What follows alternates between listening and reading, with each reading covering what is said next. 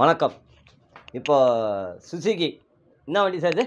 Suzuki Gixxer SF ஆ சொல்லுங்கள் வண்டி பேர் சொல்லுங்கள் சுசுகி ஜிக்ஸர் எக்ஸர் இப்படி வாங்க இப்படி வாங்க இப்படி வாங்க ஸோ இந்த வண்டியில் வந்து சார் என்ன ஒரு ப்ராப்ளம்னா கப்பலில் விட்டுருக்காரு. ஸோ அவர் கம்பெனி சார்பாக நான் மன்னிப்பு வாங்கிக்கிறேன்.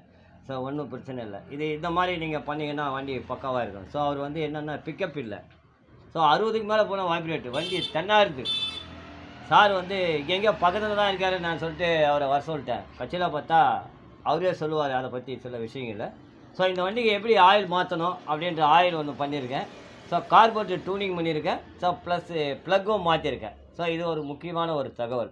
சார் வந்து இப்போ அதை பற்றி சில விஷயங்களை நான் அவர்கிட்ட கேட்குறேன்.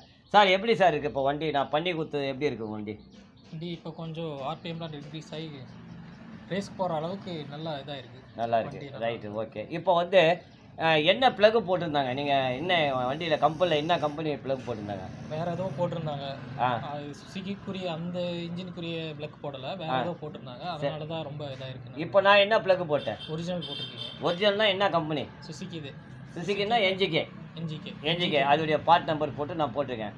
இப்போ நீங்கள் ஓட்டின வேகத்துக்கு இந்த வண்டியுடைய பர்ஃபார்மன்ஸுக்கு உங்களுக்கு எப்படி இருந்தது இந்த வண்டி ஓட்டுறதுக்கு அமைப்பு? அதாவது நீங்கள் நீங்கள் ஸ்பார் ஸ்பீடு அந்த ஆர்பிஎம்மு வண்டி வைப்ரேட் இல்லாமல் எப்படி இருந்தது நீங்கள் ஓட்டும் போது ரொம்ப இதாச்சு.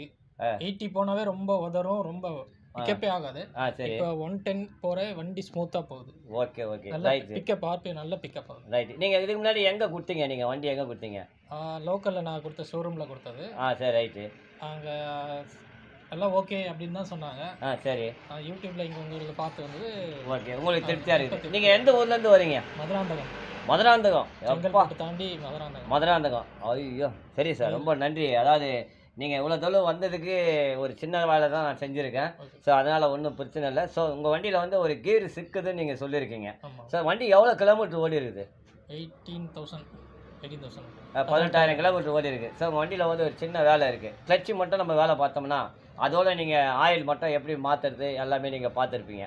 அதே மாதிரி நீங்கள் மாற்றிங்க ஸோ கிளச்சை மட்டும் நான் ரெடி பண்ணி தரேன். ஸோ அதை நான் கேட்டு உங்களுக்கு நான் தகவல் சொல்கிறேன் அதுக்கப்புறம் வந்து அந்த கிளச்சை பண்ணிங்க. ரொம்ப சந்தோஷம் சார். அதாவது ஒரு கம்பெனி நம்ம எப்படி பண்ணணும் அப்படின்ற ஒரு விஷயத்தை கஸ்டமர் வந்து ரொம்ப மன வேதனையோட என்கிட்ட வந்தார். நான் கம்பெனிக்காக அவர்கிட்ட நான் மன்னிப்பு கேட்குறேன் ஒன்றும் பிரச்சனை இல்லை. இனிமேல் கம்பெனியில் வந்து நல்லா செய்வாங்க. ஸோ மெயினாக வந்து என்ஜிகே ப்ளக் வந்து நீங்கள் யூஸ் பண்ண ஆரம்பிங்க. தயவு செய்து இந்த மாதிரி ப்ளக்லாம் போட்டு கஸ்டமருக்கு ஆர்பிஎம் வரலன்னா வைப்ரேட் பயங்கரமாக வருது. அதனால் வண்டி ஓட்ட முடியல. இது ஒரு முக்கிய தகவல். நன்றி.